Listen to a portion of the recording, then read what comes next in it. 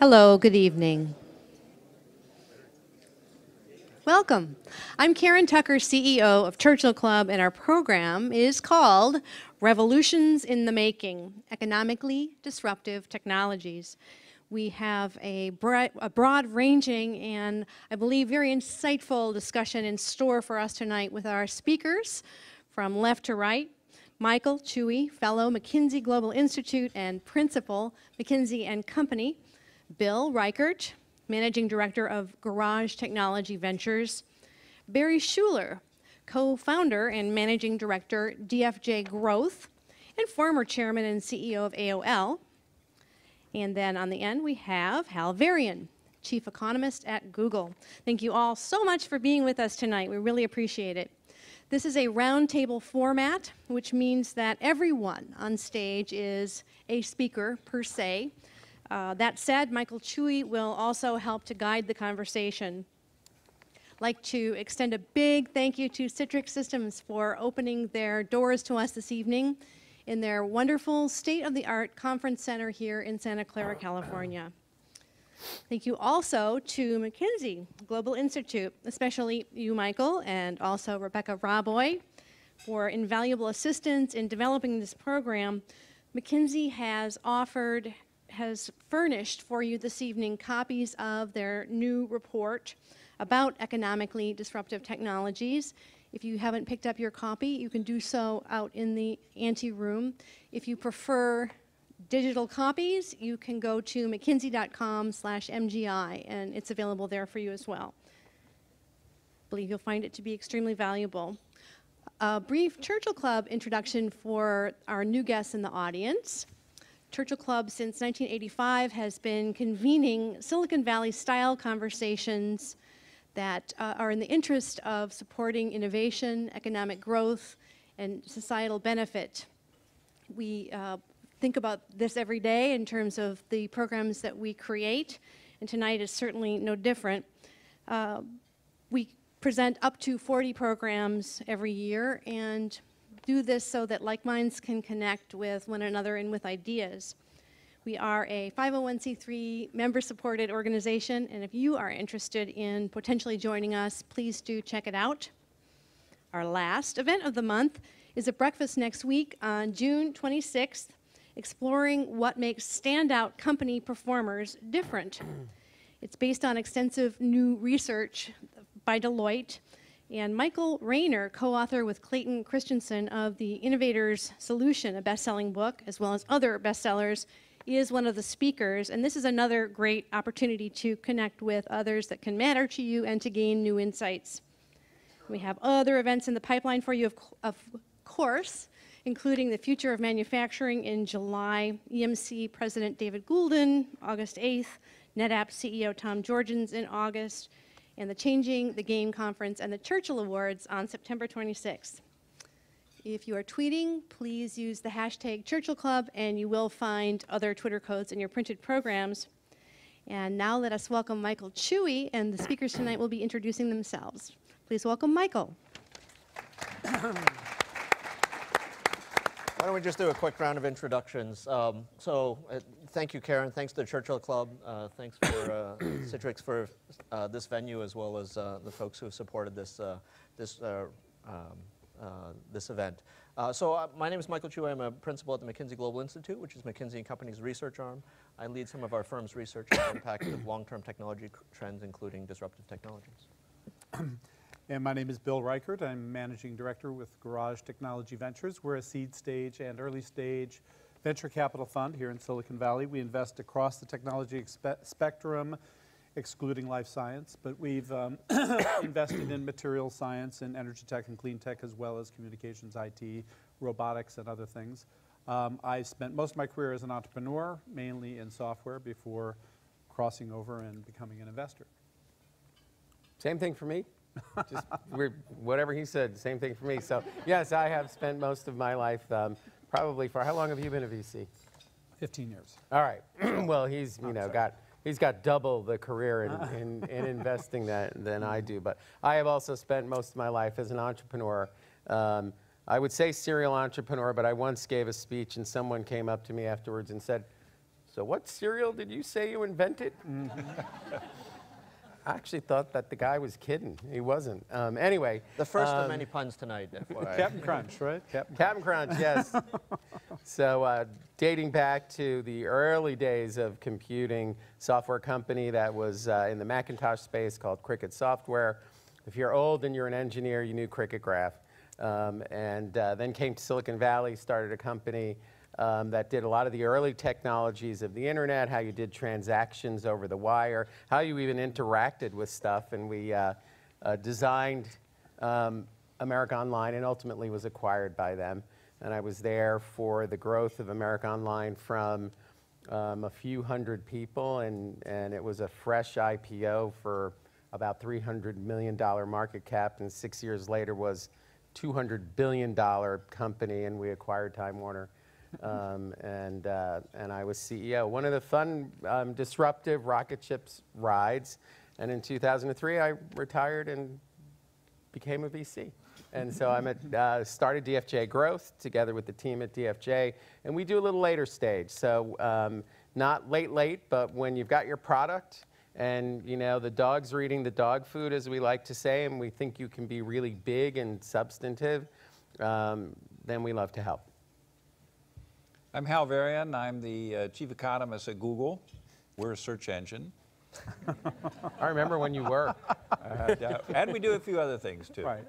But uh, let's see, in a previous life, I was a professor and then dean at uh, Berkeley and uh, started a school of information there. And if you can stay out of trouble as a dean for seven years, you get time off for good behavior. So during my, it's, it's harder than you think, actually. but during my, uh, my uh, sabbatical year, I uh, bumped into Eric Schmidt. He said, I just joined this cute little company called Google. This was back in 2002. Why don't you come down and uh, give us a hand, some stuff? And so I went there in uh, 2002. I had so much fun. I stayed on and uh, joined the company full time, I guess, in 2007. Great. Well, thank you. So as you can tell, we have a, a, a tremendously interesting panel here, and we have a tremendously interesting uh, topic, which is uh, disruptive technologies. Um, you might uh, describe this as being a, a little bit of intellectual parkour, but uh, we'll see what we can do about getting through some of these topics. Um, I'll just, uh, you know, just to take a couple of, of, minutes to talk about some of the research that we did. Uh, again, it's a, over 170 page uh, report, so I, I won't exhaustively go through ev- every uh, piece, but just maybe just call out a few highlights just to get the conversation started. Um, actually, we have a member of our crack research team here, so it, it actually was a, a group effort uh, uh, for sure. Uh, but when we looked at econ- uh, economically disruptive technologies, you know, the question is what, what are the criteria that we used? Uh, so there, it, was, it was four parts, basically. You know, number one is we were looking for technologies that were either uh, accelerating in terms of their advancement or already on a, on a you know, an exponential curve, right? So either the first or second derivative was something significant. Um, secondly, we were looking for technologies that had broad applicability, so across multiple sectors, affecting billions of people or you know, potentially affecting hundreds of millions of, of workers. We were also looking for technologies that were economically disruptive, that had a lot of potential value at stake. Um, you'll see some of the charts in the report, for instance, are denominated in trillions of dollars per year. That's kind of a big number. So we're looking for big, big numbers. And then finally, we're looking for technologies that actually were transformative in their impact, right? So not only a big number, but they might change industry structures or vastly shift profit pools or change the way that people work fundamentally from day to day. So those are the four sort of categories that we use to find these disruptive technologies. There are, you know, we, we identified a uh, delightful or disruptive dozen that we don't necessarily think that those are the only technologies which are interesting or disruptive, but we do think that all of those have the potential, and, uh, and we said over the next dozen years, to really be truly disruptive based on those criteria. I'll just briefly mention the, the categories in which they, you know, we, we could describe them as falling. One category is, is around you know, rethinking energy, right? So things like renewables, things like advanced oil and gas exploration and, and, and production, things like um, energy storage, for instance. And we'll talk more about you know, some of those uh, as we go through. Another uh, broad category are those technologies which are enabled by IT or are IT related. So cloud and mobile, for instance, uh, Internet of Things, automation of knowledge work. So uh, the category of things around IT, and I'll come back to that in a moment, but what's interesting is that IT is so general purpose that it in fact underpins a lot of the other technologies that we identified. A third category is ways in, or technologies that affect the ways in which we interact with the physical world, so machines doing work for us. So whether or not it's advanced robotics or uh, autonomous vehicles, self-driving cars and drones and those sorts of things, um, you know, as, as well as 3D printing, which, uh, you know, there are folks on the panel who have a real passion for that. And then finally, we, we also looked at some technologies that, that really changed the fundamental building blocks of technology in a certain way, right? It's almost a meta thing. Uh, you know, we looked at next generation genomics, for instance. So how does the biological world change things? And, uh, and also, um, you know, other advanced materials. So if it's nanotechnology, you know, all kinds of interesting things around materials. So, you know, lots of implications about that. We'll try to explore that with the panel today. A few things that we discovered as we were looking at these things and, and, and thinking about them. First of all, um, you know, these technologies, while we, while we study them, um, you know, separately, uh, generally when you combine them, you actually, you know, create more effects, right? So if you think about 3D printing put together with advanced robotics, that can uh, vastly change the way you think about manufacturing, for instance. Um, another uh, comment, just as I look at it, right? If you look at all of the technologies we identified, you know, some of them I just described as being primarily IT related, but all of them actually have some IT in them, right? So if you look at advanced genomics, for instance, all those gene sequencing machines, which are actually accelerating faster than Moore's law, they do have some Moore's law in them as well, right? So there's real IT underneath them. Another thing that's interesting is, you know, who is going to get the benefits is, is going to be one of the big things that will happen.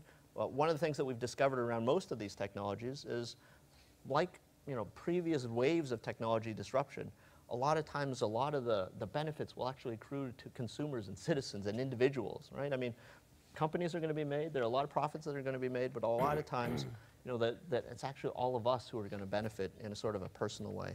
Um, and then, you know, quite frankly, the way we work is going to change drastically because of a lot of these technologies.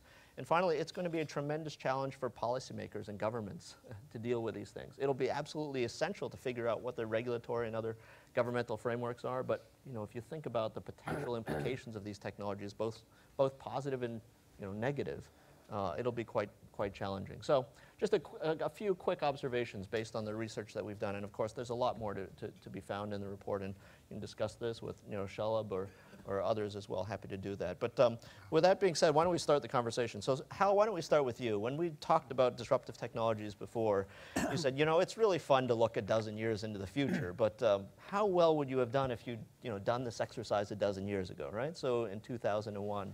So you know, it, that's a question you posed. What, what, what do you think we would have done, or you would have done, or someone would have done if in 2001 we said, you know, what do we think the disruptive technologies in 2013 would be?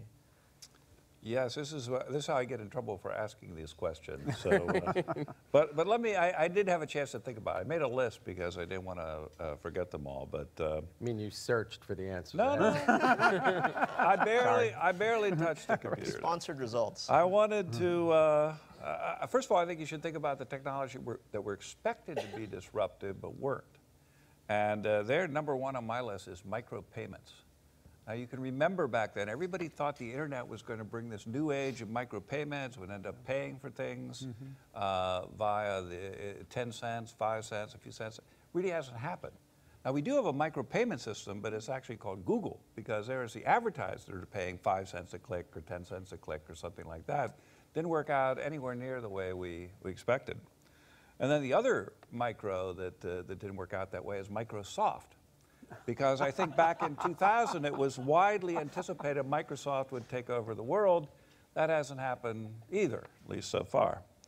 Uh, nanotech, you mentioned, and I think nanotech uh, was anticipated to give more benefits sooner. It's still a technology that's a research technology. We've seen some payoffs, but uh, I think its, its promise is down the road a little bit. And same thing with designer drugs. I think they've been harder than people anticipated, partly for regulatory issues, partly for just science. When you say designer drugs, what do you mean by It that? I mean- I doesn't mean have drugs the right could contacts, that's all. that Sorry. would be hi- highly customized drugs Personalized at an individual, at an Personalized individual medicine. level. Ah, sort of okay. Personalized, yeah. Um, what, were, what was actually disruptive? Well, obviously, I mean, everybody agree the internet was disruptive. I mean, it was around in 2000, of course, because that was the, uh, the internet bubble, but it was still mostly dial-up at that time. Broadband met 128 kilobit ISDN. Uh, businesses, universities had broadband, but basically residential was, was almost non-existent. Uh, search engines, they were also around, but I think people did not understand what an important uh, aspect that would be because if the internet has this huge growth of content, you still have to have the card catalog for the Borges library, right? Uh, online advertising, that, that replaced the, uh, the uh, business model that was assumed of, of micropayments, uh, personalization. Open source is kind of an interesting thing. If you think about LAMP, you know, LAMP built the internet, really. and, it, and of course, open source has been around for a long time, but I don't think people thought about how mainstream it would become over that decade. What's, what's LAMP? I love LAMP. Yeah, Li- Linux, Apache, MySQL, and Python or Perl, depending on your religion. Uh, but that would be the kind of thing that uh, people, just in its infancy in terms of mass uh, adoption.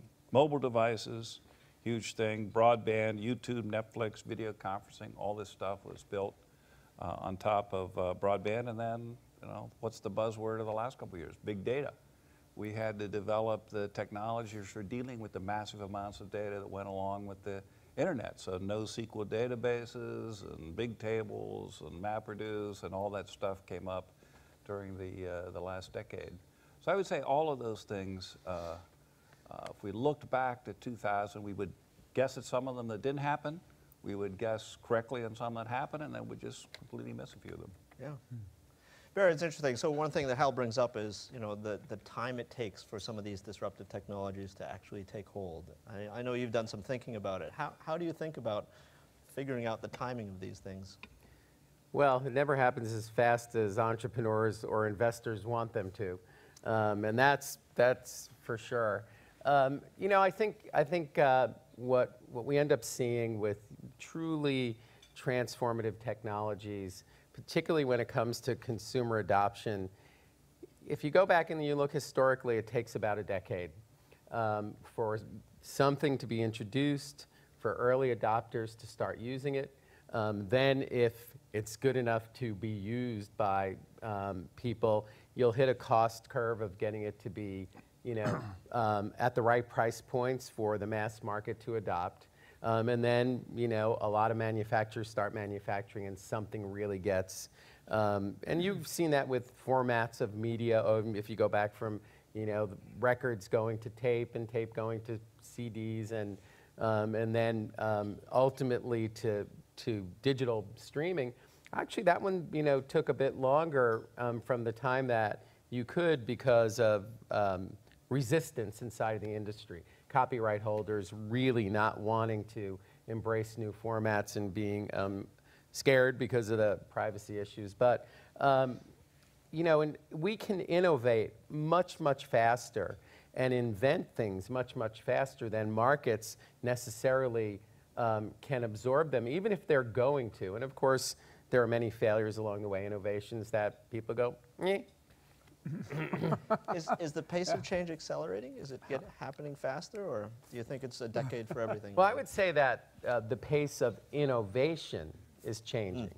Um, uh, I think that uh, I, I couldn't tell you definitively um, if the, the pace that the market is adopting things is chasing, is, is, is changing, um, you know, because you have big incumbent businesses that resist change.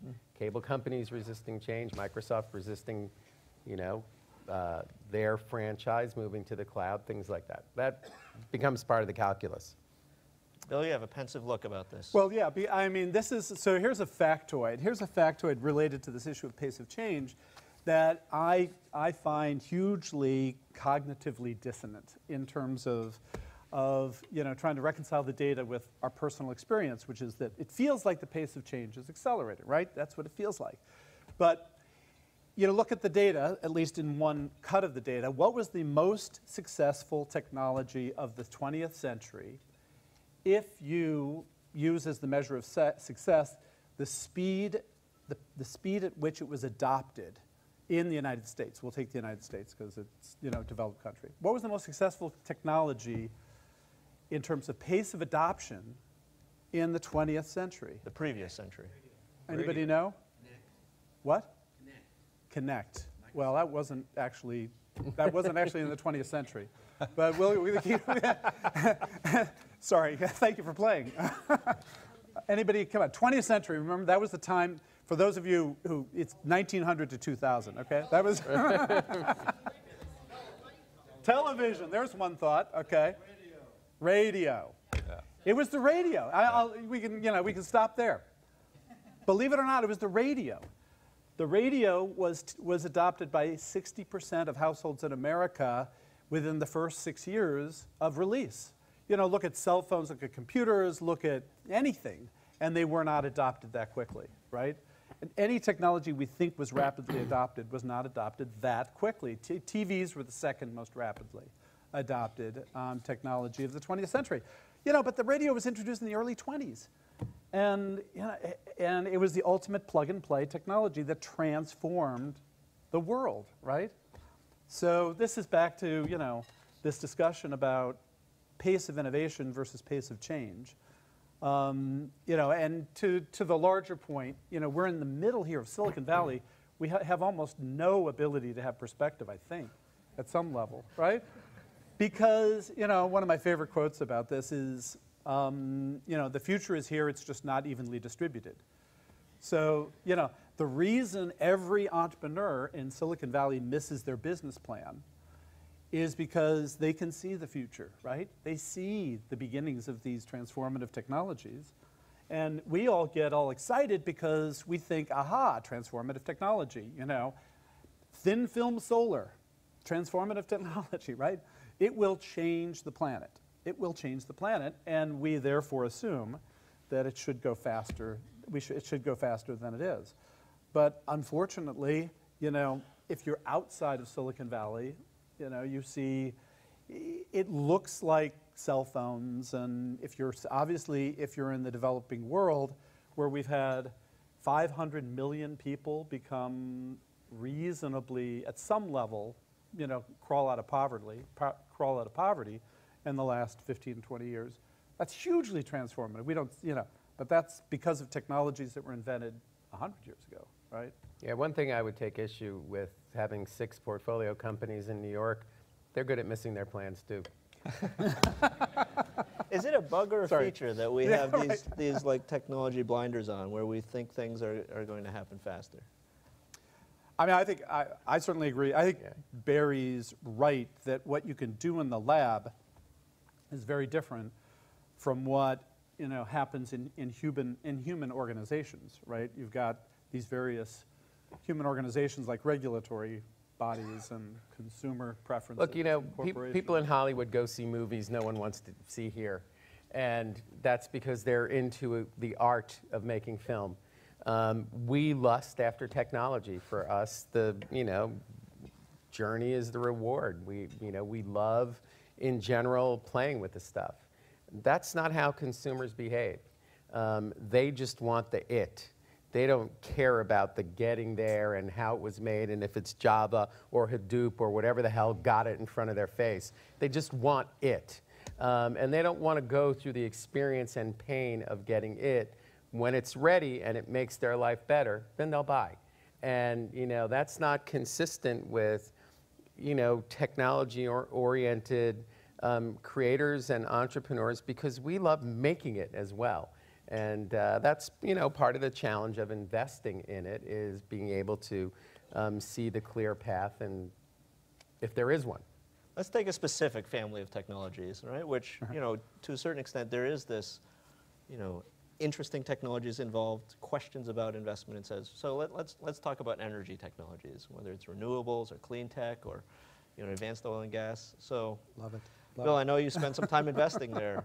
You know, what's exciting there and, and, and, you know, what's that Well, yeah, I mean, the challenge is everything's exciting there. I mean, the, uh, and, you know, the reason that's a challenge is because the market doesn't necessarily appreciate all the things that are exciting there because of this, this, um, this bad period we went through of getting overly excited and over investing in, in, in a whole bunch of technologies that were going to just take a lot longer than, again, we hoped. But, uh, you know, to pick, to pick one, solar is really exciting. I mean, and it's, you know, it's, it's, you won't Why, find. why is that? Why is solar? Because it's changing the world. You know, uh, you know, end to end, solar is changing the world because now what we're seeing is the original promise of solar at the front end uh, in terms of being able to develop materials and manufacture them at a cost that converts sunlight into energy is, you know, we're starting to cross this, this line that says, wow, we really can, without government subsidies in a lot of places on the planet, make solar cells that make sense. So it's, you know, again, I'm not necessarily advocating, well, maybe I would advocate going out and buying solar socks. Go ahead. um, they may still be low. But, um, and then the, all the way to the other end of solar, you know, through deployment and financing. And, you know, it's, it's absolutely, it's changing the world. And we'll look at, you know, this blip we had here the same way, um, you know, we look at the blip of the railroads when the railroads were built. You know, back in the 19th century, everybody overinvested in railroads and everybody went bankrupt investing in railroads, right? That was one of the, you know, famous historical technological bubbles, right? Same with radio. Everybody invested in radios, and you know, a whole bunch of people went bankrupt investing in radios because you know it was the wave of the future.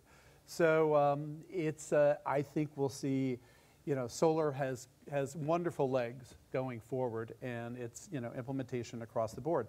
And just again, I, I, I can keep going across energy technologies, and I think there's just a lot of, of positive stuff there, um, which doesn't necessarily mean buy today. But in terms And now of I have cognitive dissonance. Yeah. You say go buy, and then like you gave a lot of examples of companies w- that went out of business in the past. Well, the hope is that we've gone through our going out of business phase on the solar side. You know, maybe not entirely yet, but there's still some that are hanging around. Um, but I think long term, you know, in the time frame we're talking about here, you know, we will see that as being, you know, one of the, ob- you know, we'll look back and say, of course, it was obvious. You know, solar was going to be widely deployed. Or you also spend some time in clean tech. What, what Yes. makes what makes something investable? I mean, what, what actually is? Well, that would, you know, be different for everybody. Um, but, but uh, you know, I think it's important to keep in mind that our style of innovation in our capitalist society um, uh, necessitates a lot of martyrdom.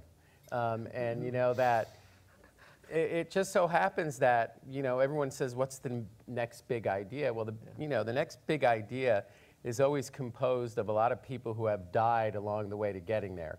You know, rarely is there the one who just gets it right perfectly. Um, you know, there's a lot of carnage along the way. Um, and that's sort of what makes it precious, and it's that collective learning that, that makes it work. Um, you know, solar, I agree, I think solar is incredibly exciting. Um, I have a 180 kilowatt um, solar farm on my property in Napa. Um, and, uh, and, you know, it, however, at the same time, um, you know, I'm cranking out a megawatt during the day in the You're summer. consuming it.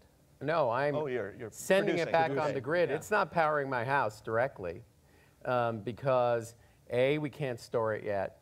Um, you know, B, uh, if, if I sent it directly to my house, I'm SOL at night when it's dark, um, unless I have some battery system, which we haven't figured out how to do yet. So there's a lot of work because, you know, solar is on the edge, and we need our, our grid to behave like the internet meaning you can move power around uh, based on demand the same way we move packets of information around. Um, uh, and that's being worked on. I think that smart grid and the technologies that it, it um, will take to do it, um, uh, it is a really important area. Um, we love solar. We decided we hated solar components. He may be the only guy who made any money on solar components. We thought it looked like um, memory in the 80s, and since most of the people here don't even look like they were born in the 80s, um, uh, you know, But a there couple was people made money on memory, right? A well, couple, they did. right, a couple. Come- couple made money, but you know, there was tremendous demand, and then it all went to Asian overcapacity, and bang. Mm-hmm. Um, so we assumed solar panels were going to crash in price, and who would win? Um, and we invested in a company called Solar City, and they install panels. Um, they become your energy company, and that you know worked. Um, we like solar thermal. I mean, look, you know, if you look at some of the things that are important but are longer term, um, biofuels, um, the potential to um, you know, harness uh, the inherent properties of algae to produce the lipids that we use fossilized in oil. Very promising area. Will take a long time to sort out. And you have this bogey of, you know, the oil companies who can manipulate price um, and sort of wait you out as an investor. So um, I love clean tech. I think it's um, really important to us as a country. As an investor, though, I'm very cautious. So how will it happen if it's important for society, but investors are cautious? Hal? Well, I was going to say, I, I think if we look over the next uh, 10 years, the big story is going to be natural gas. I mean, it's not exactly clean, but it's a third of the carbon emissions of coal. It's become very, very cheap. There looks like there's a lot of it, and it's going to permeate the economy. And it's already the case that on the East Coast, they're putting uh, natural gas uh, replenishment stores along the eastern seaboard so you can move long haul trucking onto natural gas. And I think that will happen throughout the entire country. That's going to lower delivery costs, it's lowering shipping costs, it's going to have a big impact across the economy. Now, this is something that I think is occurring pretty quickly, but fracking has been around for 30 years. It's not a new technology, it's just what you were saying. There are a lot of people that lost money in it, there was a lot of effort and a lot of uh, dreams were broken, but it's a successful technology. And assuming they can deal with the environmental issues, which I believe can be addressed easily, uh, relatively easily, uh, it's going to have a big impact in the next 10 years. But the transformation, the transformation there was market, not technology. Yes. It was $100 oil. You know, so that, you know, Well, that's the pricing issue. That's that. That is we have we are so um, you know embedded with the infrastructure and and the amount of pure liquid we move around to power things um, that uh, you know the ability to control supply and demand um, is also the ability to to throttle um, innovation in the space because so you really think the oil guys are the bad guys? no, I didn't say they were the bad guys. Okay, all right. At all. Um, Okay, What I was, I what I said yeah, was, okay. everybody was investing when people looked at a hundred, you know, dollar oil, saying it's only going up. Mm-hmm. Um, and and then when you're investing in a technology, remember, just six years ago, um, solar uh, solar panels were six, seven bucks a watt. They're under a buck now. I mean, and a lot of that had to do with stimulus, you know, the stimulus program and, in, and investment in the space. Um, and, the- and now it's at grid parity. That's why it's so, ex- it- it's so exciting. Um, if you want to use liquid fuels out, outside of natural gas, which is good for certain things, um, uh, if you really wanted to replace fuel, um, you are going to have to always deal with this bogey of your target changing um, uh, because there is enough supply in the world um, and you can spend more money to get it. And by managing that commodity, you know, you can really push investment in a, in a fuel um, out of the range of the private sector's ability to keep supporting it. That may be a little esoteric point here, but you know what I mean. Yeah, yeah, Yeah. Well, so what do you think of Yeah. new nuclear or next generation nuclear? Anybody care? Is that, that's not on the list, is it? It It's doesn't not- matter if it's on the list. It's a panel discussion. Is it, I mean, I- I- are either you guys Yeah, I- thinking next generation nuclear has a future? I, and I, I think within the 12-year period it doesn't, but I think, I mean. I think it would have. I think it was on a roll till Fukushima came along. Yeah, I think- and there was some. There's some very interesting. You know, the micro plants Right. and The Indians are doing thorium. Yeah. That's kind of interesting. I mean, we'll see where that goes. But I'm sorry. No, Back no, to you, Michael. it's all right. I I think it, I think come back, comes back to what you were saying a minute ago. Right now, there are cheaper energy sources where you don't have the regulatory and the popular resistance, and I think uh, opinion will flow towards the easiest uh, route, which is LNG and solar. well, Those externalities matter, right? Yeah. Let me, let me try shifting gears a little bit. I mean, one of the other observations was IT underpins a lot of these technologies, including, as you said, smart grid, for instance, et cetera, right? Um, so let's explore some of those. You know, ma- maybe, Hal, I could start with you. I mean, one of the things that we talked about was automation of knowledge work, right? We used to say the things that people do well, things that machines do well. I think increasingly we're finding the machines can do things that we thought that only people could do well. So, you know, your company does a lot of interesting things, uh, amongst others, uh, as well as the other observations you have. Uh, Could you talk a little more about what, what that might mean? Well, let me put in a plug for the National Science Foundation and for ARPA because a lot of the uh, infrastructure, the intellectual infrastructure for these innovations came out of those organizations. There were actually three search engines, Lycos, Inktomi, and Google came out of the NSF Digital Library Project because they correctly saw that this was an important issue. They provided funding to universities, and you've had huge commercial returns. Driverless car, same story. That came out of ARPA because obviously drones or driverless vehicles have huge military applications, but even huger civilian applications. And so Google, I think it was Larry Page who saw a demonstration of the Stanford uh, group that was working on autonomous vehicles, thought we had some things to add to that and basically hired the group uh, over to Google. And what do we have to add? Well, the big component was Street View because we had Street View, we had Google Maps, and you could add in that IT infrastructure that turned this laboratory technology into something that's on the roads today.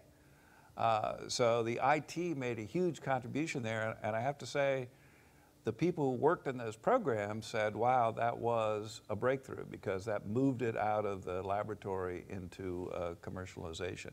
I think we're going to see more and more of this. Uh, but I don't think it'll necessarily be abrupt because if you think about it, your car has been getting more driverless with every new car, right? Uh, nowadays, you have, first of all, there was collision avoidance, and then there's uh, the rear view cameras, and then there's the par- auto parking cars, and so on and so on. So these features will begin creeping into cars, and uh, I, I think we'll see driverless cars on the road within a few few years. What's a few? A few? Uh, well, we see them on the road right now on an experimental basis, but commercially available vehicles, I believe, within five years. And uh, in fact, you know, my, my favorite plan, I'll, I'll throw this out to the audience, instead of build, building this uh, high-speed train from LA to California, we just add another lane onto Interstate 5 and say autonomous vehicles only. You already have it. You have the HOV lane. Just put a rail on it and people will be happy. That, that, that would, that would be fine, but, but if you can have only the driverless cars on the road without those crazy human people, that is a much, much easier problem. They're the problem, not the robots. Have you been in the car? Oh, yes. And what's it like? Oh, it's, it's, it's great. I mean, I, I've been in it in, on 101 where we were cruising up and down the freeway. The freeway is an ideal environment because it's so dull and boring. And that's bad for humans and good for robots. Uh, we did have a little bit of a problem. I was also in it in Washington, D.C., and there's an issue there because the driverless car obeys the law. And if you're trying to drive through a bunch of pedestrians in Washington, D.C., and you obey the law, guy behind you starts honking his horn. So the challenge is how can you get the car to navigate through this uh, through this crazy environment in a way that's uh, legal, safe, and uh, and effective. Have they tried Boston yet? I'm, I- Boston, Boston is that's the moonshot. Forget about it. Forget about it. Other than being cool and interesting, why, why, why are driverless cars valuable? I mean, what, what, Oh, it's a it's a trillion dollar uh, economic opportunity. Think about your car; it's sitting for 22 hours out of the day, most likely.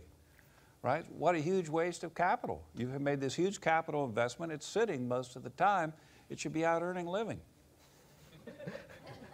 right? I mean, we, you know, you. It, it- spoken like a parent. it, it makes much more sense to have a traffic information, I mean, a traffic uh, infrastructure that's much more like a taxi system with uh, ubiquitous vehicles that can do point-to-point delivery. It's really, uh, I, I, I think, the right uh, That model. doesn't, that doesn't require driverless. That requires the, the business model solved, Uh, right? well, That's the right, but it requires a, lo- a low Lyft enough and- cost. Right. You know, just, just even things like, you know, what's the trouble with San Francisco, for example? It's not the driving. Driving's not bad. It's the parking that's bad. So why are the cars parking in the first place? They just drive off somewhere and then come back when you call, kind of like the Batmobile. So, uh, so it's, it's, it's those kinds of innovations where you make a Five years. given amount of capital much, much, much more effective. Great. Barry, speaking of uh, interesting uh, physical technologies, you've described yourself as a 3D printing junkie. Uh, what, Yeah. what does that mean and why? Um, the junkie part. Up to you. Answer the question however you like. Uh, well, you know, so this um, technology has been around for quite a while. Um, it, pretty analogous to talk um, about it just a little bit? just yeah, people? when of what it is. Yeah. Is there anyone here not know not 3D? We're on YouTube. What? We're on YouTube.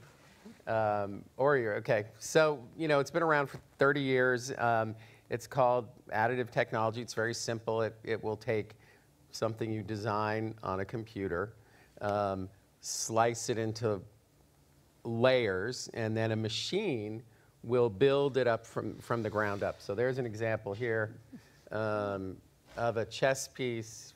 We can pass that around if you want. My iPhone case has been 3D printed. Siri was not 3D printed. Um, and uh, so designed using 3D modeling software. Then another piece of software cuts this into little layers, and then a machine will build this up somehow.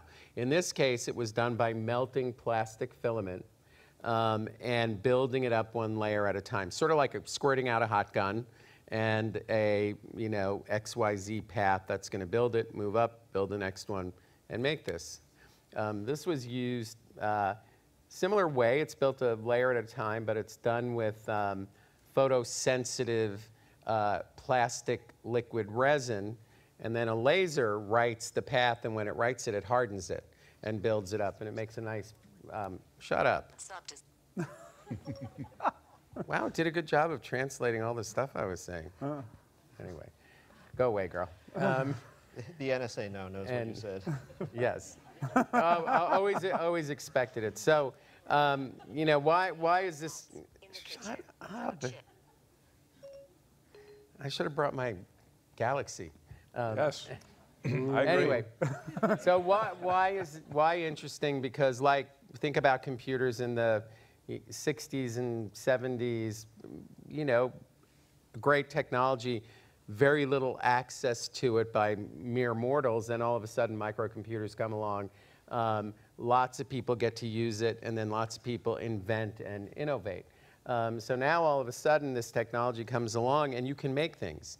Um, and so, so who wants to do that? Right now, it, it's, a, it's gotten very frothy space. There's an enormous amount of innovation. We talk about the um, speed of innovation. I think this particular space in the last three years, I've seen the innovation breathtaking.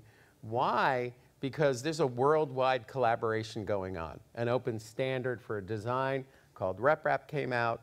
Um, the electronics that, that um, make these machines work largely have been um, uh, Arduino, another open standard, which means everybody's collaborating and making these better and better um, as the software. So all of a sudden, it's not just a couple of people in a garage.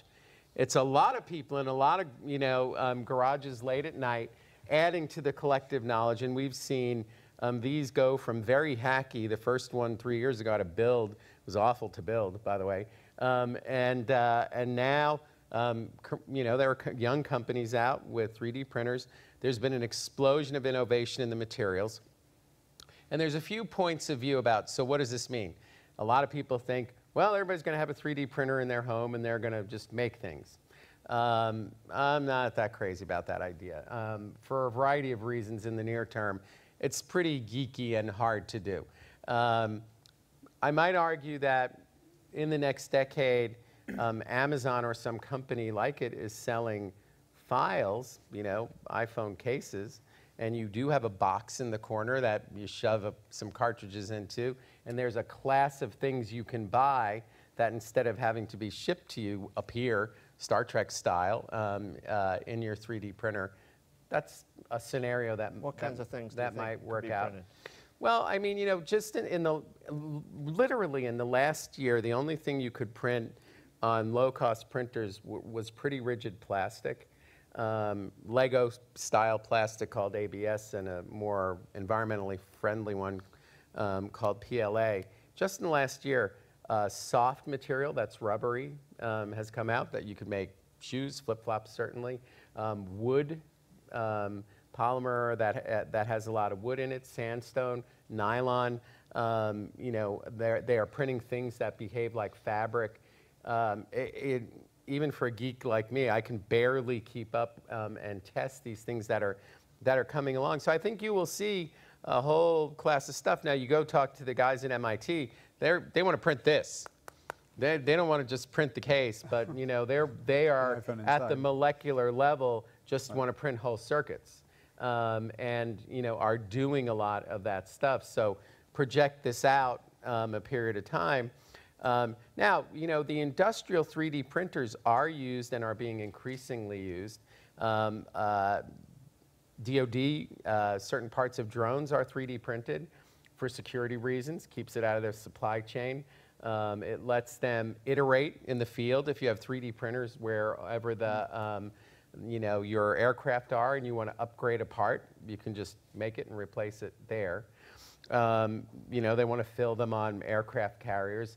And, and then when you start to project it out, what, what I think is a more interesting um, notion around this does combine your theme of IT, big data, personalization, and the idea that, you know, for all of our lives, we have been um, the product of, of mass production. So you go back to the farm era, and when things were handmade, things were scarce. Took a long time to get a suit. It had to be handmade. Um, then the industrial era comes along, and we have plenty. Everything you want is there, except that my jeans are a little tight right now.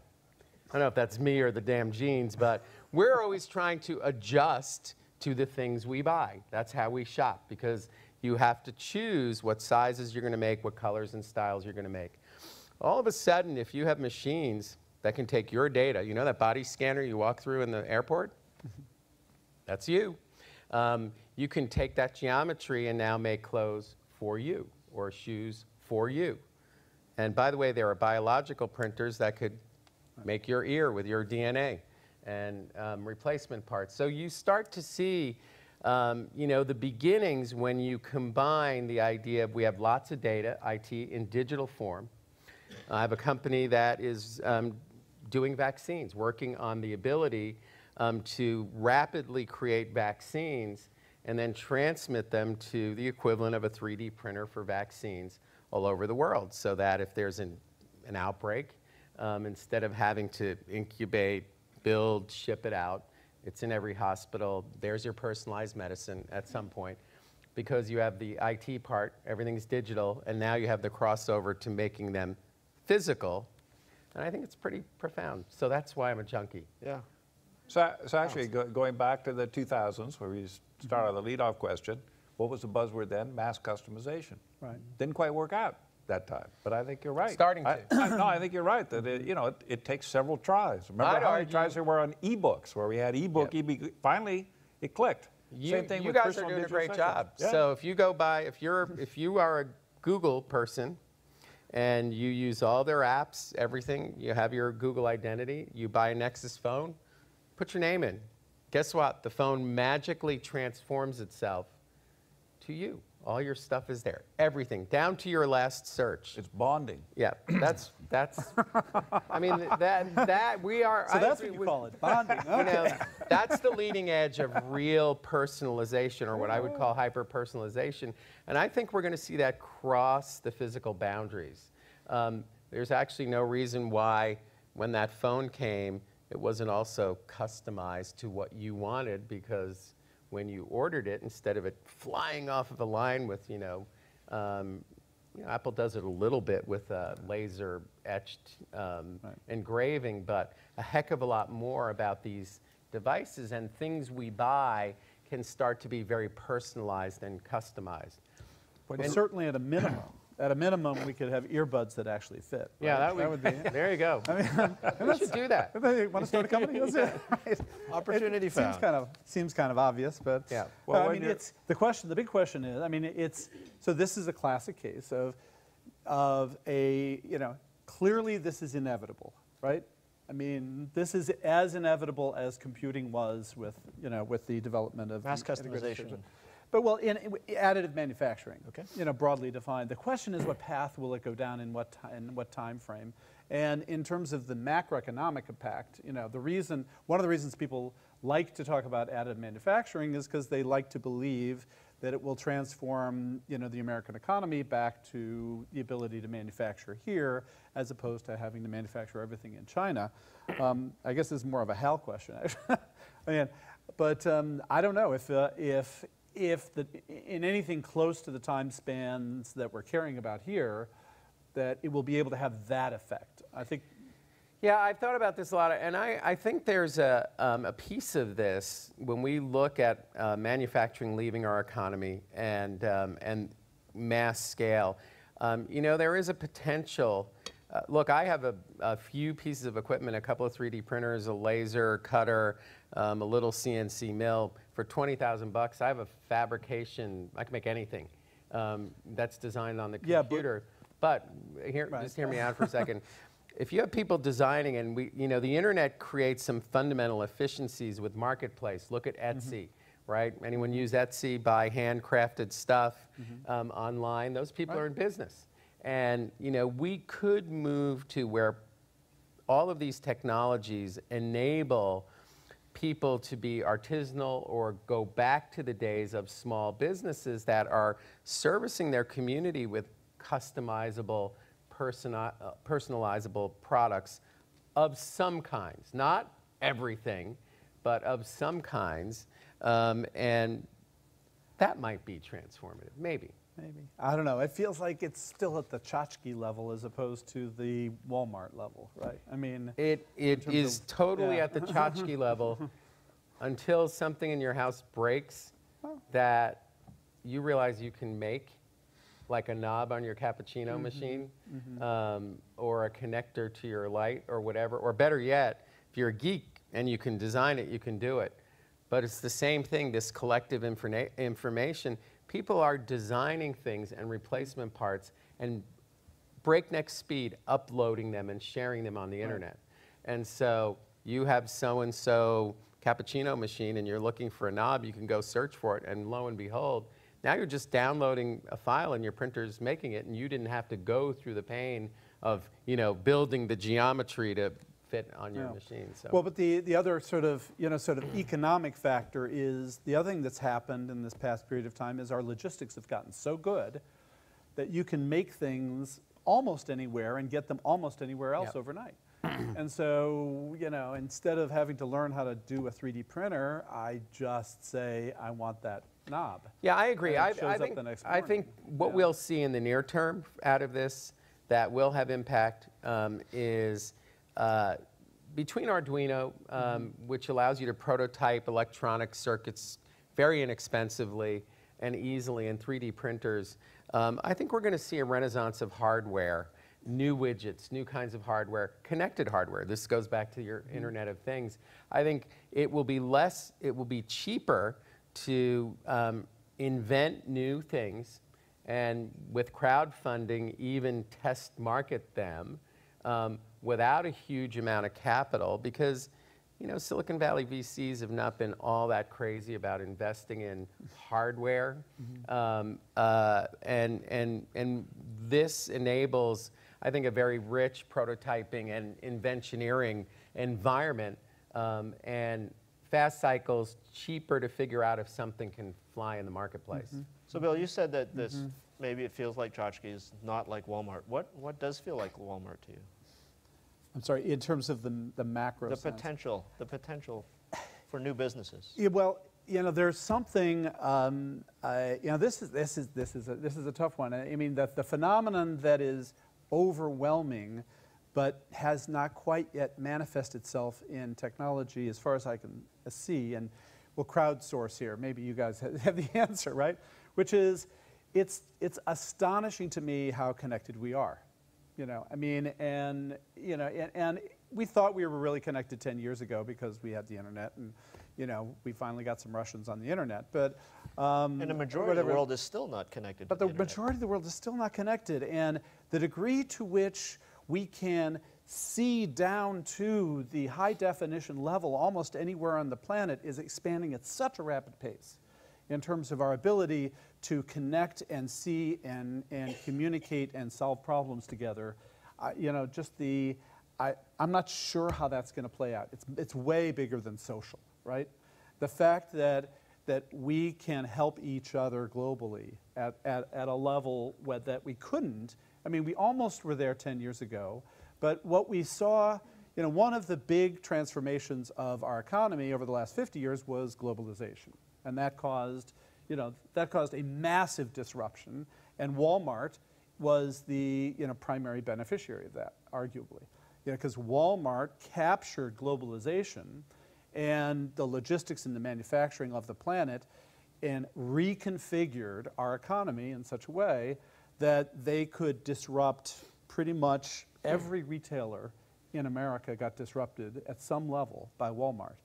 Um, so what's the next layer up for the information economy in terms of, of knowledge work and problem solving now that we have an unbelievable degree of connectivity with people up and down the stack? Arguably, you've got a couple of billion people who are on the internet, right? A couple of billion people who are on the internet who still have, you know, vast problems that need to be solved.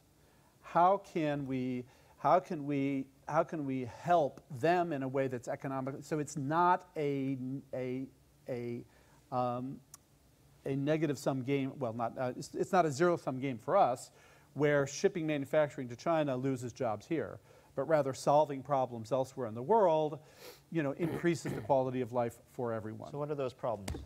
What are the problems? Well, you know, big problems in health, in water, in jobs, in education. You know, the most, you know, the biggest one, which I don't think is on your list, right?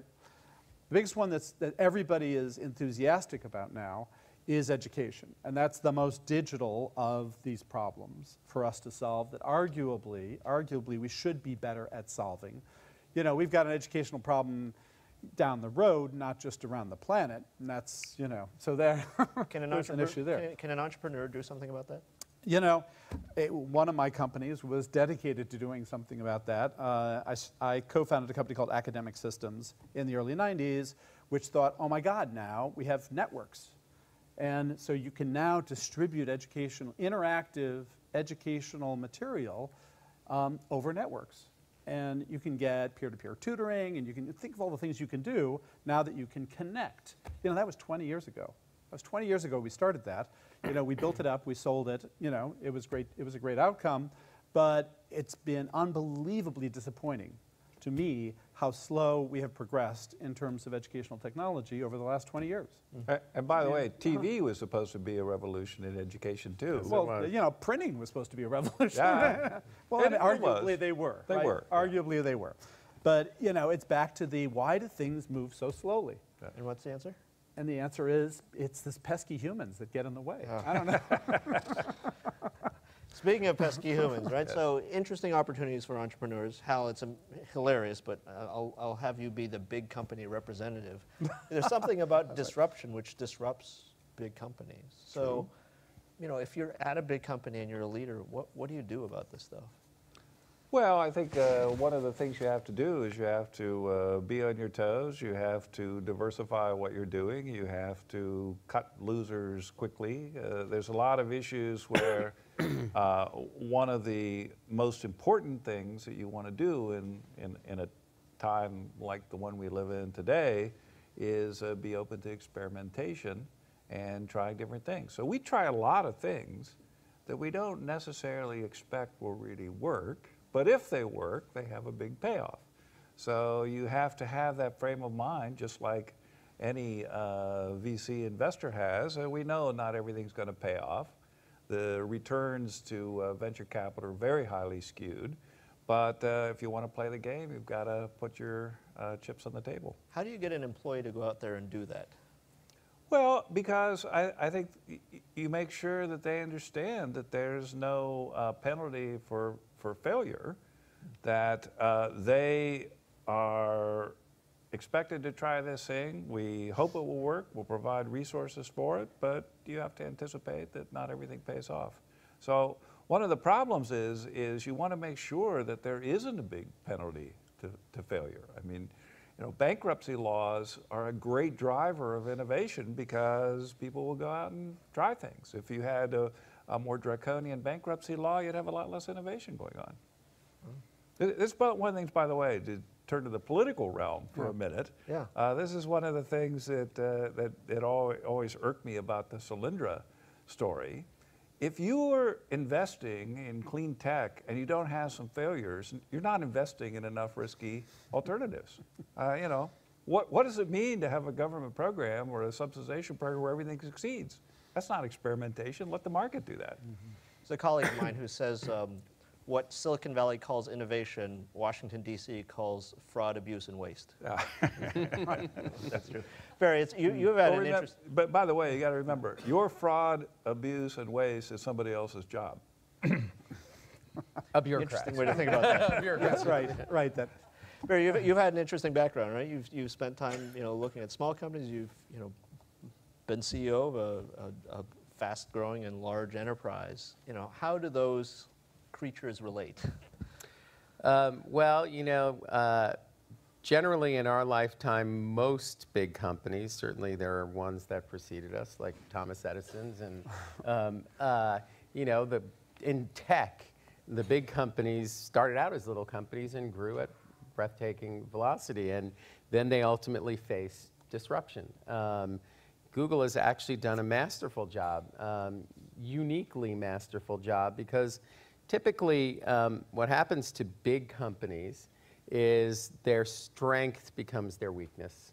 Um, you know, they get to a critical mass in something that is so important and, and, and are, of course, a slave to their investors, Wall Street, um, that they, it's not that they don't see a disruption coming. They can't necessarily take the pain or do the things they need to do or are unwilling to um, to deal with it. Um, now, Microsoft, which has been a whatever, however you want to um, think about them, hugely successful company, uh, you know, drove the first era of getting computers out and ubiquitous, um, and has had a virtual monopoly, if not, you know, uh, now is facing a huge disruption um, because the, you know, homogeneous uh, enterprise environment that has supported them is sort of, yeah, who cares? You know, if you have a Macintosh or a Windows machine or um, an iPhone, you just want it to work. And by the way, you want all of your stuff to be everywhere. Um, so the entire architecture of everything moving to the cloud, mobility um, uh, is changing the game. They're ready. They have stuff. Question is, you know, do they have the market power or willingness um, uh, to survive through this disruption? We'll see, right? Um, it happened to us at AOL. All of our critical mass and um, our strength was based on bringing something that was really inherently complicated, taking a household and putting it online. Circa early 90s, we had to go out, build out, you know, uh, analog pops in, in, in uh, switching centers, backhaul fiber to a data center, practically invent what a, da- a modern data center was, and just make it so put your phone number in, we'll get you online. No dialers, no browsers. We made you not think about it. And that was the strength we built to 30 million households worldwide um, and got you doing email and instant messaging and sort of we were the drug dealers of that era. But then broadband was coming along and we knew it would be highly disruptive um, because we did not own that infrastructure. And it's not like we were saying oh well that's never happening to us. You know we knew it was going to happen um, and uh, uh, but you know we had a certain profit structure for a dial-up customer. They were very profitable and to flip them over to broadband in that era made them margin negative. Very hard to go to the street and say, well, we have a little news for you. Um, you know, we're going to lose money after we've been printing money for the last few years, and we're going to lose money for three or four years, but I'll tell you afterwards, we're going to be like what Google's going to be in the future. So we just decided to let them do the job. Um, Yeah. Great By the way, God, I would've loved another to be in that meeting, right? By the Another way, we're going to example of questions, so be, be ready. and Yeah. I'll- Another example that's really a good lesson is Kodak. I mean, Yeah. Kodak was undone by the technology it invented. Invented. Yeah. And uh, you know they're, they're selling the patents now because uh, they need they need they're, they're bankrupt essentially. But they saw it coming. I talked to did a little work with Kodak, talked to Marine. They saw the iceberg. They just couldn't turn Well, the ship. well, I, I will say that I, I think they, I, we worked with them to do You've Got Pictures, um, uh, to let your pictures and do early picture sharing. Um, and uh, they were off by 15 years on when digital Yeah. and film were going to pass each other. Um, and they were just absolutely convinced they didn't have a problem until, you know, uh, 2010, 2015. Um, So. But the, I mean, the other, the other amazing story is Nokia. Nokia knew, Right. Yeah. Nokia knew smartphones were coming. Yeah. You know, Nokia had all they, the they had a smartphone. They had a, They they were pioneers in Yes. smartphone operating systems, and uh, you know, but what happened? I don't know. And just remember, one year ago, um, Facebook and social signal and social search was going to completely disrupt Google. And um, you guys seem to be doing just fine for right now. So timing matters. And speaking of timing, it's time for some uh, audience questions. So there are some microphones. Please raise your hand, and I will respond to the sound of the microphone, because I might not see who's Yeah. asking the question. It's a talking microphone. Please. Hi, Bob Molinari, MedStars. So all of these grand visions are are wonderful, but it stuns me how these advanced technologies, uh, how often they fail to work. I have yet to go down Page Mill Road and not have my calls drop. Here we go. So, um, you know, how reliable do they need to be when they're driving your car and doing other life critical events? I mean, we aren't, aren't even close to the level of reliability we need in getting a cell phone not to drop the call. So, uh, just one quick question. Uh, would you be willing to pay three times the price of your monthly service to have your calls not drop? If it worked perfectly, yes. You would? You're Well, not that- the typical That consumer. puts you in the right. yeah. You have to be fault tolerant. Right. so you would. I mean, I mean, it, it's the, it is the standard question about the Yeah. self-driving car, which is, oh my God, you know, my email crashes. How can I trust my car not to crash? You using Gmail or something? Here we go. Ah, sorry.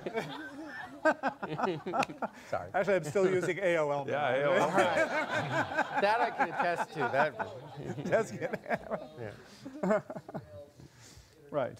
yeah. Right. So I, I mean, I, how is I, I, I, I don't, I don't believe for a moment that we will see pervasive self-driving cars, you know, within the next 12, 12, 12 years. We will see them, you know, the same way we see them now, right? But I mean, I, are you? How, I, what sort of level? Uh, I mean, I think there might be some fleet things here and there. There might be a couple. Do you really think self-driving cars are going to be? Uh, you know, where's it going to? Where's the tipping point? So I, I remember there are some technologies where you make a smooth transition. I don't think you'll have any problem finding self-parking cars. There are already self-parking cars. right. I don't think you'll find have any trouble finding cars that have pretty sophisticated collision avoidance mechanisms right, right. and more sophisticated cruise control. And then in some uh, certain kinds of environments, I think you could have fully autonomous cars. Like I said, Yeah, a separate yeah. lane Yeah, yeah. down. Yeah. down I don't think. Yeah, the- yeah. I think the No. So technology is trivial. So it's not, Yeah. it's not Yeah. going to just pop into existence all of a sudden, but you'll see a transition in some areas, and you'll see some Yeah. uh, controlled environments in other areas where I think you're really, you know, they'll work just fine. Yeah, I, I guess Yeah. the, it's back to the issue of how fast is this going to happen? And, you know, again, it's exciting to see, quote unquote, how fast Tesla has happened.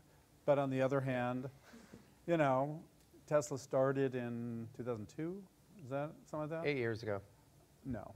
Yeah. No. yeah. I mean, it, well, whatever. I, I, yeah. but yeah, Oh. whenever it started. Um, but it's you know it, it's and God bless you know we'll have some num- several thousands of cars in, in America, but it's hardly. I mean, we happen to see all of them here in Yeah, Santa Clara. Valley, right? Which is really really cool. bubble. But you know the, the you know the pace of change I think is going to be uh, you know it ain't going to be overnight. Yeah, some of this, look, uh, to answer your question, we could have much better cell service. Um, consumers have come to accept a certain level of service at a certain price as being acceptable.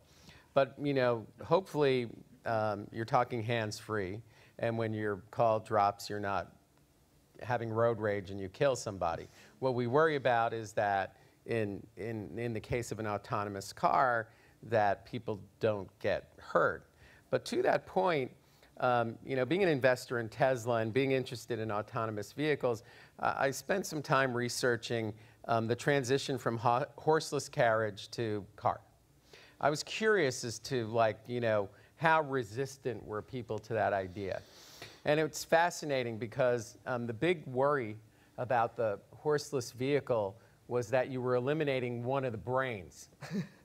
Uh, one of the brains being the horse, because you know horses typically are not going to drive into a bunch of people or drive you off of a cliff, whereas a drunk person just might, or a machine that a human couldn't particularly control well might crash and hurt a bunch of people. Um, I would say that the weak link in transportation today are the humans, not the machines, and that you know an autonomous car would probably be far, far safer than um, ones driven by humans. But I would, I will also say that the market psychology, the acceptance Right. of you know robotic cars driving around and how you would get them to commingle with human-driven ones. That's probably the much more formidable problem than making Oh, right. the robot car Right. Yeah, I mean, reliable. And we haven't even touched on Yeah. lawyers and insurance companies, yeah. right? now there's where we need some robots we can turn There on. are, there are, over, there are over a million uh, traffic fatalities per year, the vast Yeah. majority caused by driver error. Right. What other questions do we have? I think I have the microphone. Uh, Ward Hanson at Stanford. Uh, there was an interesting story in the New York Times about China announcing that in the next, uh, by next 12 years or something, they wanted to move 250 million people out of the countryside into the cities. There hasn't really been a discussion about China yet, in, in particular, uh, but something like that, uh, the sort of huge transformation demographic. Uh, any thoughts on on those sorts of changes? Yeah, well, so I've spent a fair amount of time in China and invested there and have been mucking around in China since the late 90s. And it's fascinating. Um, there's certain things you can do um, when you have their kind of government system um, that we can't do. Um, and, and, you know, so if you look at China, they do now have a country that, about the size of the US, maybe bigger, that is emerging middle class coastal cities, feels like being here. And then you got another billion who are living in per capita 3,000 a year or something like that. Stone Age type conditions that, um, you know, they, they know enough of what's going on that it's potential cultural disaster. So they want to migrate these people um, into what we would call the 21st century, but they want to do it in an orderly fashion. How do they do that? Well, they put up spec cities. Um, they build cities, they build manufacturing around it, they build schools, they carefully meter how many people they move in, educate how many kids will get college education degrees. I'm invested actually in a for-profit university in China, very carefully regulated how many kids are allowed to go because they don't want to have unemployment. They want jobs for them. They want, they want it to be very carefully orchestrated. Um, and what that presumes is because they license every business um, to be in business, if you're going to be an aircraft company in China, they're going to tell you where your plant's going to be. And it's going to be in one of those cities that they just built. And they're going to have the schools and the systems done in a way that the um, kids are educated to be in the plant, and the housing and all the other stuff is going to fall into place. Um, you know, uh, go to Mississippi where uh, education's horrible. Vasuna was in Teach for America. I've been there up close and personal. Um, we need to do that there. We need to build stuff and build schools um, for the industry that we put there. And we should be doing that same thing inside of our country. Now, we can't because that's not how we operate. We can only try and do it with incentives. Um, uh, and, you know, I wouldn't say that the Chinese methodology is necessarily so bad um, and might solve some problems for us. But Well, the, No, I was just going to say, at MGI, we've studied a lot about urbanization, right? And it's, it's, it's, it's a powerful economic force. When people move to cities, they actually become more productive. living standards tend to increase. But that's really going to happen when the infrastructure goes in with it, right? And so there's a lot of interesting things around these disruptive technologies that are about smart cities. But the other interesting thing is in, in terms of on top of that technology, you actually need governance to make it happen. So the existence of things like mayors actually makes a big difference. And not every country actually has that type of governance. Um, but we do think this urbanization uh, trend is huge and has tremendous potential, positive as well as negative, unless it's done right. So, so I think one, uh, to throw a macroeconomic perspective here, uh, China has a bit of the problem we were talking about before with AOL and with Kodak, where they've built their economy on doing a couple things, namely manufacturing, exports, and investment. I guess that's three things. And uh, it's unbalanced. They've got to shift towards a more domestic consumption driven economy, but they're so good at this other stuff. How do they manage to make that shift? They know it. They know that's what they have to do. Uh, every external observer knows this. It's just hard for them to make that transition because they've invested so much in the uh, acquiring the skills that they're doing now. What else do we have? So here, so I'm Rakesh Agrawal from Microsoft Research. Uh, so I- I think I saw this interesting list of disruptive technologies. I was wondering if the panel has thought about what could be the biggest impediment for these technologies to be becoming deployed in a massive way. For example, you know, you guys were talking about bonding of phone with people. That essentially means that something like cloud has to know much more about people, and that can cause huge amount of spookiness. And unless the technology is developed in some way where the spookiness is avoided, that could become a showstopper. So I hmm. was just wondering for each of these technologies, have you guys thought about what could be the showstoppers? Well, I completely agree with you that regulation is a potential problem. I think the important thing to keep in mind is first, do no harm. That uh, there are lots of places that regulation could make deployment of these technologies uh, problematic. And in my view, you should really, uh, as I think we have been to, a, to in the U.S. to a fairly large degree of trying to be accommodating to these technologies, and when something goes wrong, then you try to fix it. Uh, in Europe, I think they're much more resistant to change because uh, the disruption is really uncomfort- uncomfortable for the existing uh, incumbents. So the whole point about disruption is somebody gets disrupted the ones who get disrupted don't like it, and they're going to fight back through various uh, means, whether that's uh, economic, political, regulatory, whatever. Bill, Barry, other thoughts? Yeah, I think, I mean, i i the, I think case by case, depending on which technology we're talking about, there are a set of challenges that, you know, I think Hal's referred to. I mean, some are, are sort of cultural popular and, you know, clearly uh, things like nuclear can get, you know, you get this, this dramatic swing in the acceptability of certain things to, based on, you know, the event. And, or, you know, the other, you know, the other big issue is this whole privacy security issue.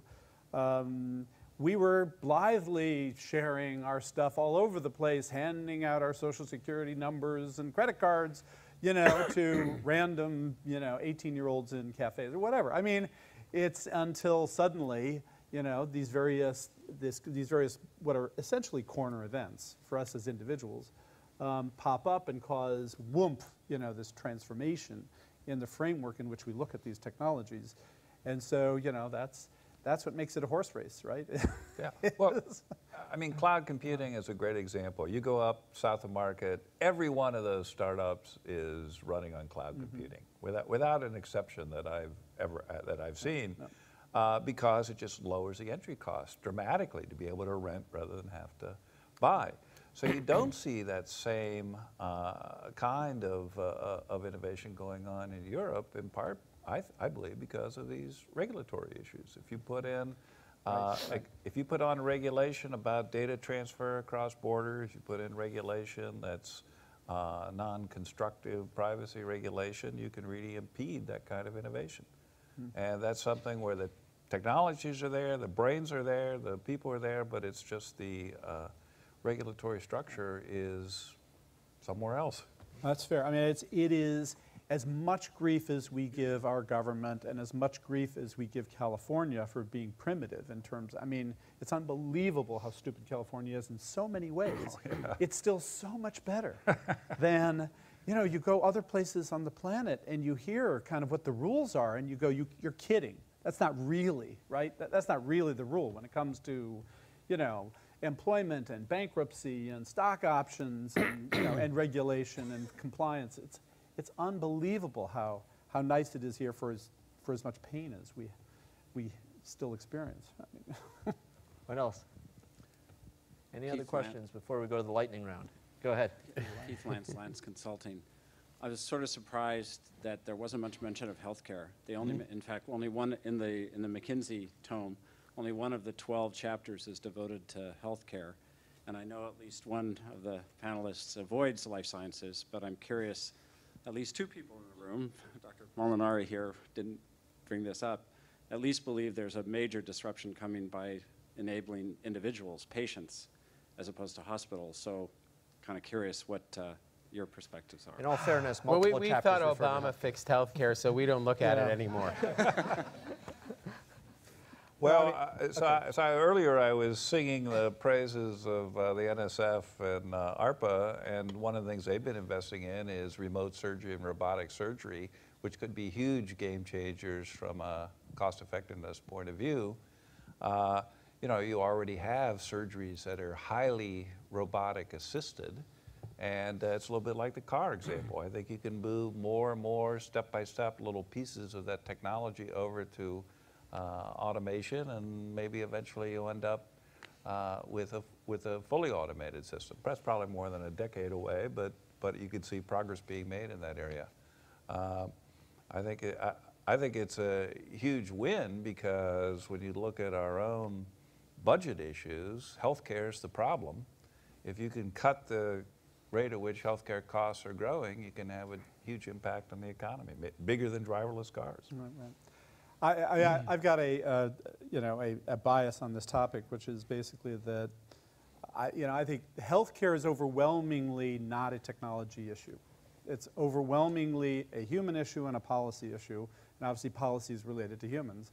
But, you know, the thesis, there is a thesis that sounds like it's a great thesis, that if we had more knowledge about what we should be doing correctly and about, you know, monitoring ourselves, that we could be healthier. But we have all we have pretty much all the knowledge we need not to be fat or not to smoke or not to do other bad things, and we still do them. So I, I you know, God bless all the monitoring technologies that we're enabling, and I think I think they I, I think there's some good investments there, to be honest. I think there's going to be plenty of opportunity to invest in enabling technologies around monitoring, whether it's at the consumer level or at the you know, institutional level. I think there's lots of technologies that will succeed there, but I don't think they make a, a dent in the problem we've got at the healthcare level in the grant, you know, in the in the macro sense. But that's just me. Uh, I'm, you know, look, I think um, that from a pure science and technology point of view, um, we are probably on the cusp of um, a revolution in, in medicine. I'm not saying healthcare, in medical science that's akin from going from bloodletting and leeches to um, antibiotics, and that relates to genomics. Um, but this now, you know, just look at the formidable regulatory issues there are in creating new drugs and therapies and diagnostics.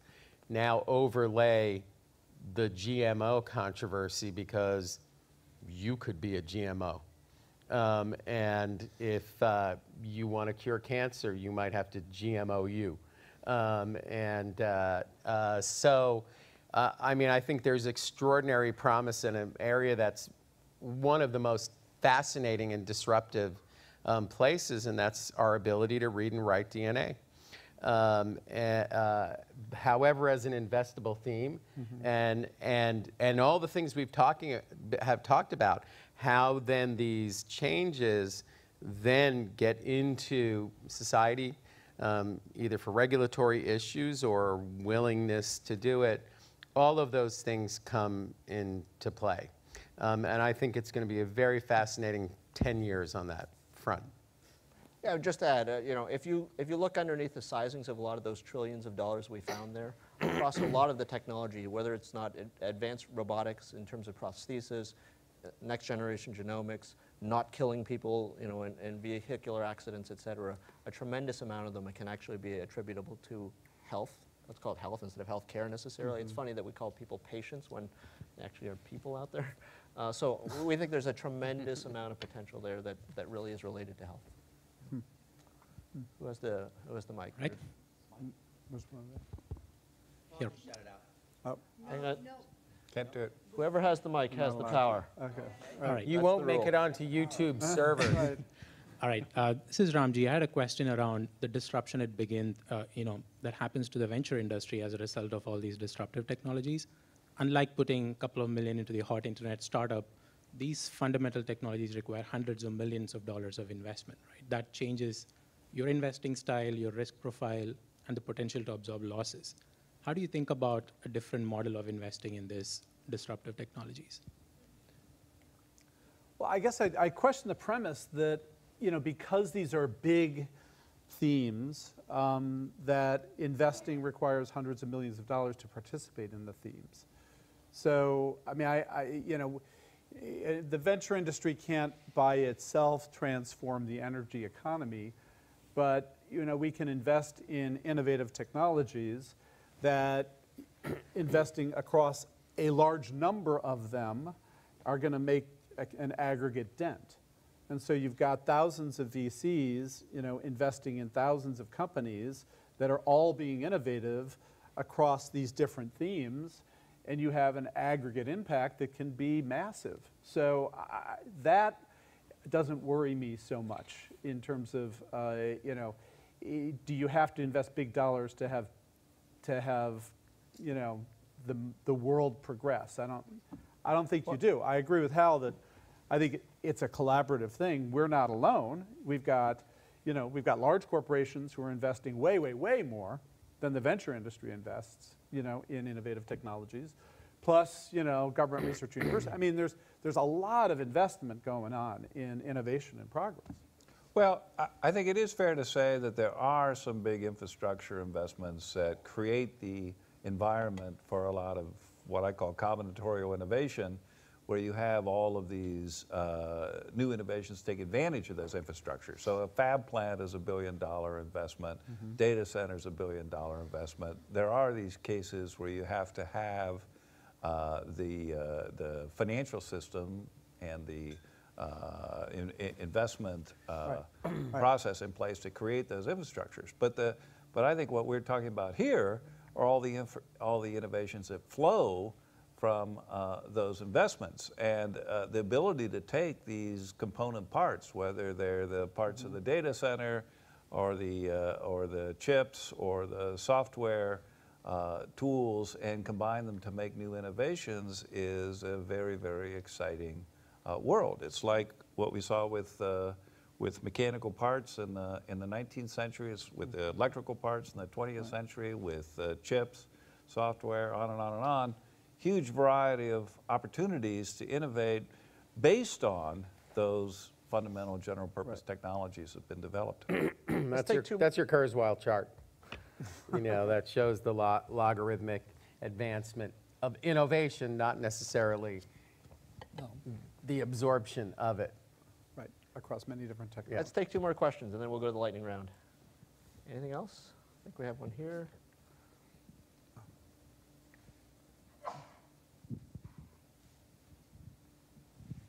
It seems to me that one of the giant Achilles heels that we have now is that software productivity isn't going up. Moore's law is doing well. The physics society, physical side of thing, the physical infrastructure is doing, but software productivity has not improved in 10 years. Arguably, it hasn't improved much in 20 years. And as long as we have that ball and chain around us, I mean, even the, the, the, the, the self-driving car has become a huge software problem. The little Google correlation engine that it uses to drive now, okay, just doesn't, is not going to get you to, to the uncertain world in which you have to drive down the street, for example. So unless we do something about software, we're kind of going to be able to plateau here. Well, well, well. I, I mean, I think you're. I would say for the entire history of computers, the hardware guys have always gone way faster than the software the guys, software guys. and uh, actually have afforded the software guys to be pretty sloppy. Um, you know, uh, writing assembler back in the 8080 days is pretty hard. Um, you know, and uh, high-level languages make make make it go faster. But look, there's an element of creativity um, that comes into play and humanness. Um, and, uh, and, and whereas Moore's law is more physics, although they're starting to run into some physical barriers there. Um, They already have. They Yeah. already have, exactly. So, uh, um, you know, I think, you, I think, yes, you're right. I mean, and uh, is, is there a solution? Maybe when machines can write code, there's a solution. Well, I mean, it's, it's not as though, you know, it's not as though we're in a cul-de-sac. I mean, it, yes, it, it absolutely, I, you know, I think we agree that, that software has not lived up to its promise. But fortunately, um, it has made progress, and we continue to make progress. And, you know, we should have multi-threading, you know, it, it, that should be much better than it is, but it ain't, you know, but we're making progress. Using the same languages and the same tools we used 10 years ago. I don't know. I don't know about that. I, Well- I, I, I, I have to agree it's the binding constraint, but I would dispute the fact that we haven't made any progress. You know, what, uh, what the, the, the phrase I like, uh, it's a little poem I recite to myself on occasion. I hate this damn computer. I think I'm going to sell it. It won't do what I want it to, but only what I tell it. Let's take that, one more question here. That's, that's the software you could have writer's a- dilemma right there. It only does what you tell it to do. I think there's an awful lot of shared code out there and object-oriented, you know, approaches to coding were a game changer. You can write some nice things pretty fast. Well, there's, I mean, there are plenty of software people Yeah. in the audience here. I mean, I, God bless if you can solve the problem. Keep, you know, go ahead. Hi, uh, Tim Berlin, medical doctor from South Africa. Um, we know that all trends, no trend exists in isolation, and we've looked at technological trends tonight. What would you say are the non-technological trends which would be viewed as synergistic to the technolo- technological trends that we've been looking at? Let's have one trend each. Bill. Well, I'll go back to the one that I talked about, which is the interconnection of humans on the planet is, you know, is a tightly interrelated but not pure technological trend that, that enables supports and, you know, a, a, a lot of the future. Barry. Uh, I, I agree. I, I think that in, in the history of humanity, we make leaps when we share information. And so printing press helped you share information um, versus telling verbally and got it more dispersed. Electronic media did, then the internet came along, and now you truly have a collective brain. Now, the question is you have the infrastructure for the sharing. The question is do you have the humanity to want to put it to work? How? Spread of English. Same thing. Come back to communication. yeah. What's, what drives it in part is going to be a spread of a common language. Translators can help a lot, but I think it's, uh, you know, business operates on English, and I think education worldwide will be operating on Great. English. All right. Michael, Michael, what's yours? What? What's your trend? Oh, yes. Hey, hey, ba- hey, He's on McKinsey. the. You're, you're the smart guy Come up on, here. McKinsey. Here, you want to borrow my watch? I'm sorry. Uh, I'm wearing two. Uh. Governance. Governance. All right. Governance. Rapid fire. that's All right. good, Just good. a couple minutes. Oh, Here we go. oh, oh, Ready? We're, done. We're going to start All with Bill. Yeah. What's the most underhyped technology? Under. Additive manufacturing. Very. Underhyped or over? Under. Underhyped. Underhyped. Um, uh, I, I, I would say genomics. Hal. Fracking. What is the most overhyped technology? Hal. Oh, that's a tough one. There's somebody to choose from. Pick one. All right, Big data. Barry. Um, blended learning. I don't know what that is. Um, Wikipedia. the singularity. What incumbent company is most threatened by disruptive technologies, Bill? What incumbent techo- is most threatened by what? Disruptive technologies. Boy. Um, tough. The Chinese government. Barry. That's good. Microsoft. Europe. Company or country? It was company, but whatever. Well, well the only, the, there's only Chinese one government has country, only one country qualifies, that's Singapore. They're doing fine. Uh-huh. China, qua- China qualifies as What big company has the most to gain from disruptive technologies? Hell, Google. Hmm. I agree. I'm going to say IBM, Which country will lead in the development of disruptive technologies? Bill. U.S. Yeah, absolutely. Agreed. Oh. What country will be the most important customer for disruptive technologies, Hal? Uh, China. China. U.S. Fascinating. Present company excluded, who would you most like to pay attention to about disruptive technologies? Bill. Ah, shoot, I was going to say Hal Varian. Who would I most like to? Boy, Steve Jurvetson. Oh, that, yeah, yeah, definitely Steve, for sure. I'm stuck. Larry Page. Oh, you answer for him. right. That's great. Good. I'll Thank you very that. much. Appreciate your attention. Thank you. That was, that was cruel. Thank you all so much for sharing your perspectives so freely. This has been a marvelous discussion, and that is because of how you presented yourselves to us tonight. As if I felt as if we were they were having dinner together.